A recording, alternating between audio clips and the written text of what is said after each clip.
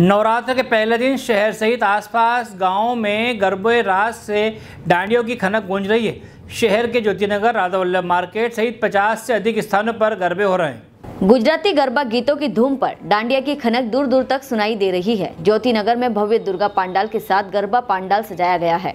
यहाँ गरबा मंडलियों ने माता भजनों और भक्ति गीतों पर मनमोहक गरबा नृत्यों की प्रस्तुति दी। बालिकाओं का उपस्थित भक्तों ने तालियाँ बजाकर उत्साहवर्धन किया। इसी तरह राधा वल्लभ मार्केट से नवदीप गरबा मंडल द्वारा उनतीसवें वर्ष में गरबा का आयोजन किया जा रहा है। गरबा नृत्यों को देखने के लिए देर रात तक दर्शक पंडालों पर मौजूद रहे। खरगोन से जयंत गुप्ता की रिपोर्ट। हेलो फ्रेंड्स आप देख रहे हैं हमारा channel S W twenty four news हमारे सारे वीडियो सबसे पहले देखने के लिए आप हमारे चैनल को सब्सक्राइब करें और पास में लगे बेल आइकन को दबाना बिल्कुल भी ना भूलें।